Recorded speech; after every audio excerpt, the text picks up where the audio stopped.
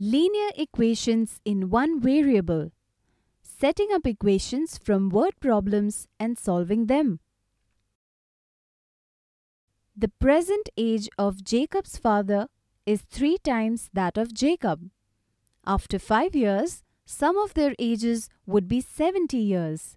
Find their present ages. Let us first make a list of the things we know.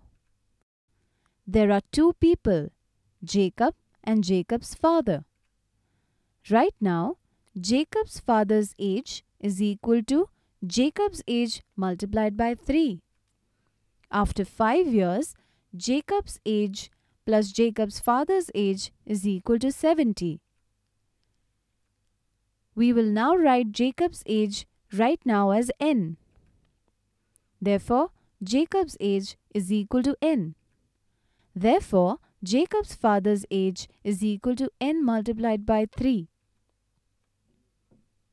Equations that we have so far are Jacob's present age is equal to n, Jacob's father's present age is equal to 3n. After 5 years, Jacob's age is equal to n plus 5 and Jacob's father's age is equal to 3n plus 5. We also know that after 5 years, Jacob's age plus Jacob's father's age is equal to 70. So, n plus 5 plus 3n plus 5 is equal to 70. We can solve the equation now. Simplifying LHS and we get 4n plus 10 is equal to 70. Transposing 10 to RHS. Therefore, 4n is equal to 70 minus 10 which is equal to 60. Transposing 4 of 4n to RHS.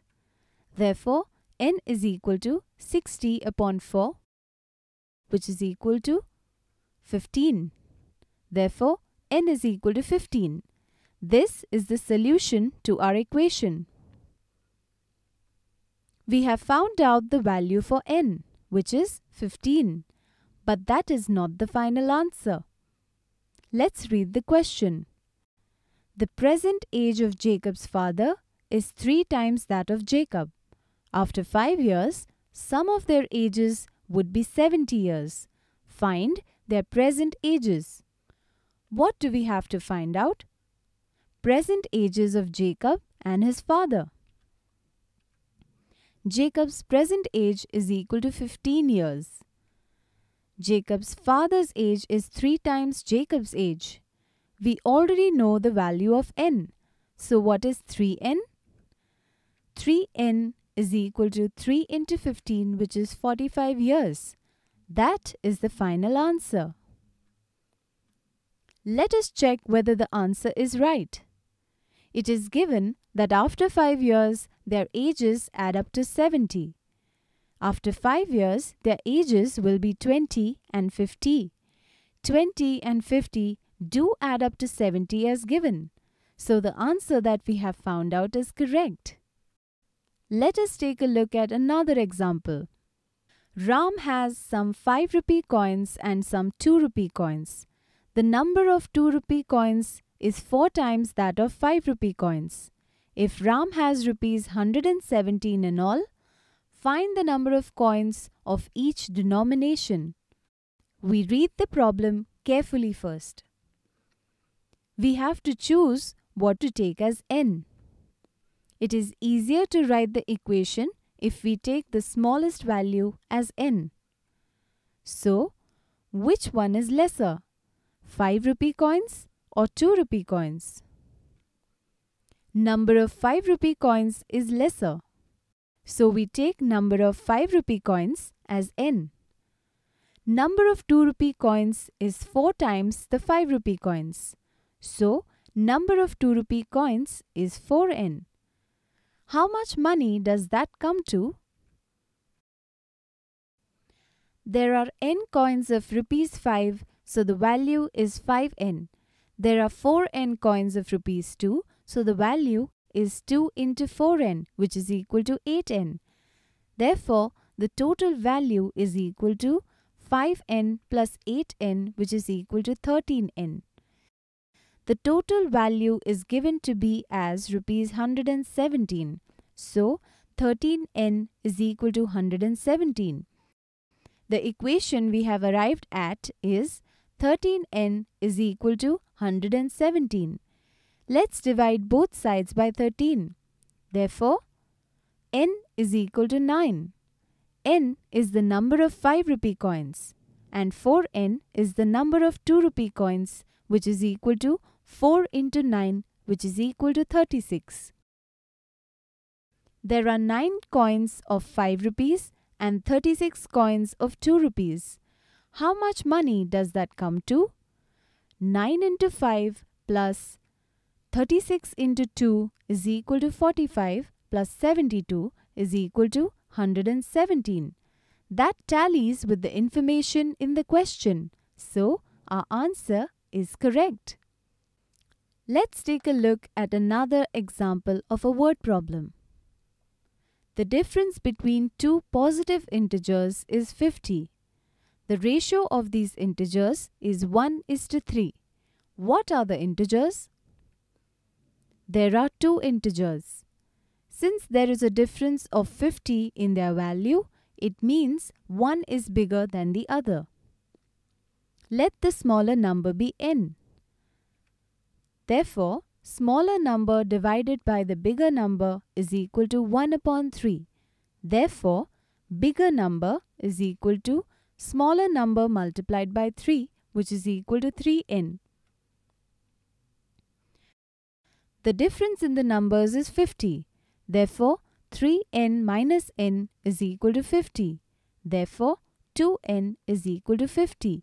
Therefore, n is equal to 25. And therefore, 3n is equal to 3 into 25 which is equal to 75. The answer is the integers are 25 and 75. Let's take a look at another word problem. The sum of three consecutive multiples of 7 is 777. What are the multiples? Consecutive means coming immediately one after the other. If the smallest multiple is 7, which is m, what is the next multiple? The multiple is the next number that you see in the table of 7. So, the next multiple is m plus 7. What is the multiple after that? The multiple after that is m plus 7 plus 7 is equal to m plus 14. So the three multiples are m, m plus 7 and m plus 14. We know that their sum is 777. Let us put that in an equation. m plus m plus 7 plus m plus 14 is equal to 777. Therefore, 3m plus 21 is equal to 777. Transpose plus 21 to the RHS. Therefore, 3m is equal to 777 minus 21. Let us simplify this equation. Therefore, 3m is equal to 756 transpose 3 of 3m to the RHS. Therefore, m is equal to 756 divided by 3 which is equal to 252. The three multiples are m, m plus 7 and m plus 14. We know that the value of m is equal to 252. Therefore, m plus 7 is equal to 252 plus 7 which is equal to 259. Therefore, m plus 14 is equal to 252 plus 14 which is equal to 266. Therefore, the multiples are 252, 259 and 266. Let us check this answer. The sum of the multiples is 777. This tallies with the information in the question. Let us take a look at another word problem. A fruit vendor buys some oranges at the rate of rupees 5 per orange. He also buys an equal number of bananas at the rate of rupees 2 per banana. He makes a 20% profit on oranges and a 15% profit on bananas. At the end of the day, all the fruit is sold. He makes a total profit of rupees 390. Find the number of oranges that the fruit vendor purchased. What information can you get from the problem? The cost of an orange is equal to rupees 5. Cost of a banana is equal to rupees 2. The profit on oranges is 20% and the profit on bananas is 15%. Number of bananas is equal to the number of oranges and the total profit is equal to rupees 390. All the fruits were sold out.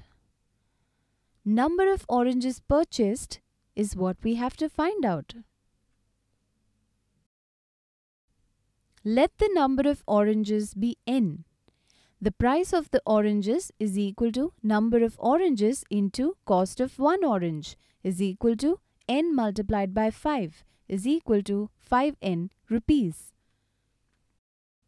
Number of bananas is equal to number of oranges is equal to n. The price of the bananas is equal to number of bananas multiplied by cost of one banana is equal to n multiplied by 2 is equal to 2n rupees.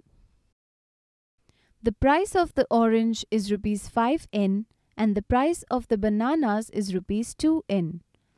Profit on oranges is 20% which is equal to 20 upon 100 multiplied by price of oranges which is equal to 20 upon 100 multiplied by 5n which is equal to n rupees. Therefore, the profit on oranges is rupees n.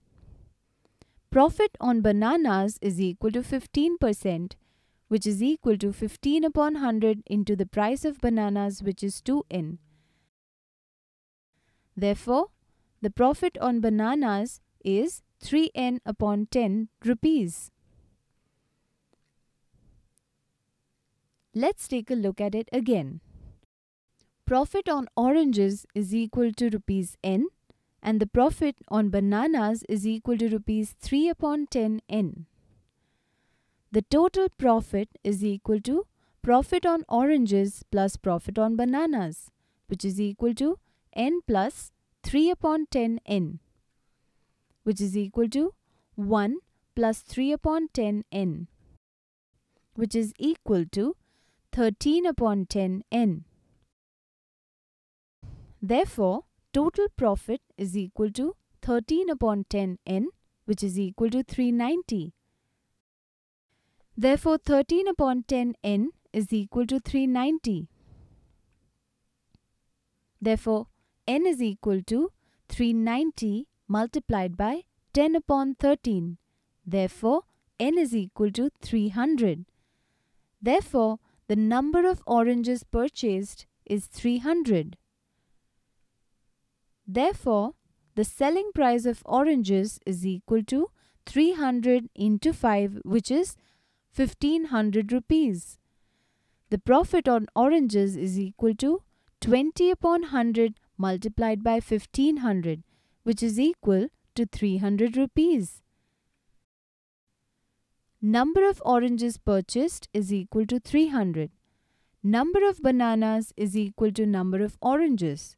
Therefore, Number of bananas purchased is equal to 300. Selling price of bananas is equal to 300 multiplied by 2 is equal to 600 rupees. Profit on bananas is equal to 15 upon 100 multiplied by 600 which is equal to 90 rupees. Let's take a look at another word problem. The sum of the digits of a two-digit number is 7 the number obtained by interchanging the digits exceeds the original number by 27. Find the number. There are two digits in this number. Let digit in the units place be n. The digit in the tens place is 7 minus n. What will the value of this number be? 7 minus n into 10 plus n is equal to 70 minus 10n plus n is equal to 70 minus 9n. Then we interchange the digits to get the second number. What will the value of this number be? n into 10 plus 7 minus n is equal to 10n plus 7 minus n which is equal to 7 plus 9n. Our original number is equal to 70 plus 9n. Our new number is equal to 7 plus 9n. New number is equal to old number plus 27. Therefore, 7 plus 9n is equal to 70 minus 9n plus 27. 7 plus 9n plus 9n is equal to 70 plus 27. Therefore, 7 plus 18n is equal to 97. Therefore, 18n is equal to 97 minus 7 which is equal to 90.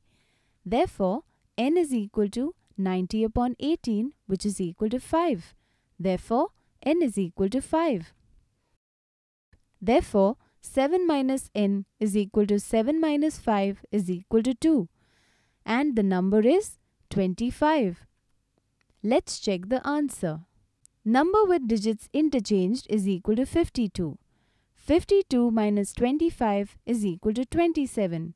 Therefore, our answer is correct. Let's take a look at another word problem. The ages of Ruby and Reshma are in the ratio 5 is to 7. Four years later, their ages will be in the ratio 3 is to 4. Find their ages. Let the common factor in their present ages be n. The present age of Ruby then becomes 5n and the present age of Reshma becomes 7n. After 4 years, Ruby will be 5n plus 4 years old and Reshma will be 7n plus 4 years old. We know the ratio of their ages after 4 years. That is, 5n plus 4 divided by 7n plus 4 is equal to 3 upon 4. Let us solve this equation. We use cross multiplication and write the equation properly and we get 4 multiplied by 5n plus 4 into brackets is equal to 3 multiplied by 7n plus 4 into brackets. Therefore, 20n plus 16 is equal to 21n plus 12. Take plus 16 from the LHS to the RHS. Therefore, 20n is equal to 21n plus 12 minus 16. Therefore, 20n is equal to 21n minus 4. Take 21n from the RHS to the LHS. Therefore, 20n minus 21n is equal to minus 4. Therefore, minus n is equal to minus 4. Therefore, n is equal to 4. We know that n is equal to 4. Therefore, 5n is equal to 20. And therefore, 7n is equal to 28. Ruby's present age is 20 years and Reshma's present age is 28 years. After 4 years, Ruby's age will be 24 and Reshma's age will be 32. Let us check the answer. Ruby's age is to Reshma's age is equal to 24 is to 32, which is equal to 3 is to 4. Can you set up an equation from a word problem and solve it? Yes.